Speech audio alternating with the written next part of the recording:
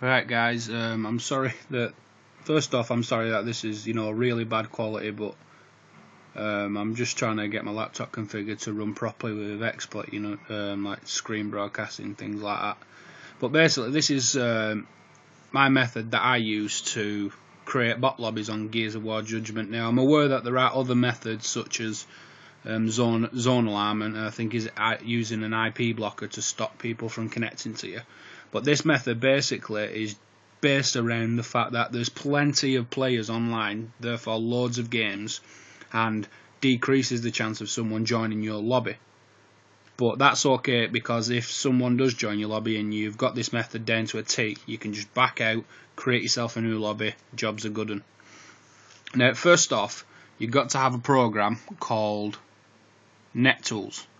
Uh, you can you can download this um, on like Softpedia or just type into Google NetTools 5 download and follow the download instructions. But I'd make sure you download it from Softpedia because it's always virus free and it's I just I always download my programs from there. Then once you've done that, you set up, install it onto your computer, and then you open it and you go to start network tools and scroll all the way down till you find a program called UDP Flooder. Now you open UDP Flooder and it'll pop up with a little box on screen like this. And in the top box it'll have um, an IP address. Now what you want to do is change that IP address to 27.27.27.27 and then in the box below it it says, it says data once. Now highlight data then copy and paste data for 30 seconds between 30 to 35 seconds. This basically allows you to lag up, lag up your connection making it harder for Gears of War or the servers to match you into a game with other people. Now once you've done that right at the bottom it has a speed bar. What you want to do is click the speed bar um, like the, basically that's just the various speeds that the program itself runs at. You maximize it to 10, that's the highest it can go. Then what you want to do is go to your Xbox like your Xbox screen and basically pick a map pick a map um, like pick a game type that you would you wish to play and what you want to do is say I, am going for you know VIP execution because it's it's it does pay like you know really good XP and I'm using double XP tickets so you know that's maximizing the amount of experience I can gain. Then once you've done that, you press you press select um, quit match. Now once you've done that, you've got to press start on your computer. So it's you've got to time you've got to time it right. I mean, it all depends on how strong your connection is to Xbox Live or how good your connection is from your service provider. But this is the method I use, so you may have to toy around with it to get it to suit your connection. But anyway, here goes. Hopefully, this should work straight off.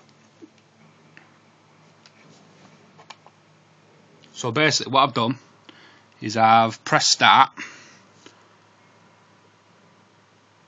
Now, basically, what you got to get, what you've got to get it to do on here is get it to say um, no suitable matches found five times. Now, in between, it'll say check quality, say zero out of nine matches. Now, it's okay to press stop um, on match on matches found of less than five. I find.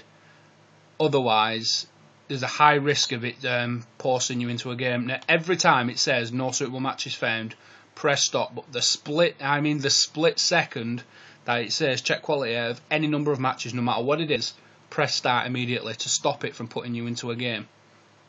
Now, once it's done that, you just keep repeating the process. Now, if you look here, it says zero out of nine matches. So at this point, it's okay to stop it just stops you from lagging your connection too much where it kicks you off Xbox Live. It allows it to your connection to recover and re-strengthen your signal.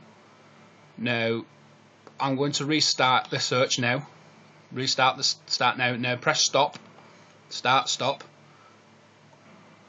Now, if you look here, it says 0 out of 50. Um, it says out of 15 matches. Now, that usually appears after no suitable matches could be found has been displayed five times. Now, once it's done that, you can you can stop your um, your UDP flooder. You can stop that, and then just sit back and wait for the game to start.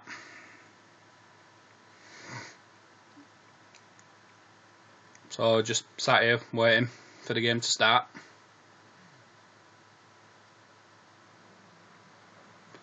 And if I press back up, you'll notice that I'm into a bot lobby on my own. Right there.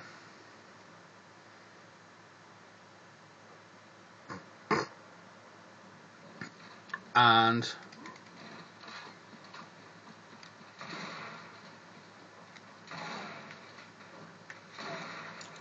Well, yeah, um, comment, rate, and subscribe. I am sorry about the quality. I am looking to, I will, if I can, make a better quality video. But I hope this video helps you. And remember that it all depends on your signal to Xbox Live or your connection. And basically, you've just got, you basically, you've got to time it right. But hopefully this video has been of help and should give you some idea as what to do when you're trying to create a bot lobby for you, say you and your friends.